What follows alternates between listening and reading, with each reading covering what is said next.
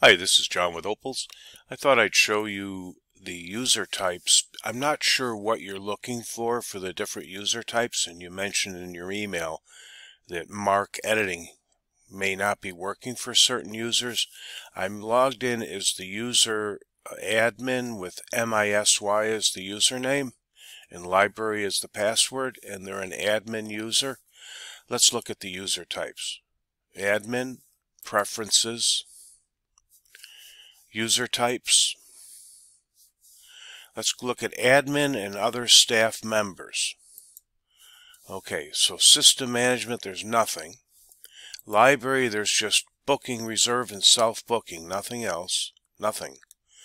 Um, and uh, actually, that's it.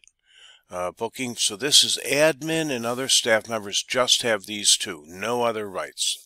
And I'm a little hesitant because I'm not sure what you're, what who gets what rights. Okay, so we've looked at admin, IT support. I think that's they don't have much. Uh, I'll leave this one alone. IT support, library staff. All right, so system management, everything, all allowed types. The library. Um, Here's where I'm wondering. This is library staff and all the MARC options have been turned off. I'm going to turn them on, okay, just by doing this.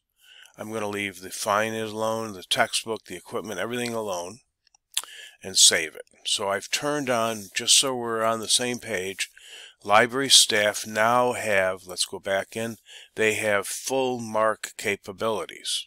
Maybe you don't want that.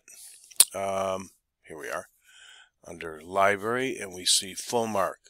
You can just turn it off like this. Okay, I'm going to leave it on. I'm just going to cancel it because I already saved it. Alright, so that's library staff. And that's it. So we've looked at these three. Library staff now has MARC privileges, IT support. I didn't really pay attention to that one because I don't think it's what you use for the library work. And admin doesn't really have much at all.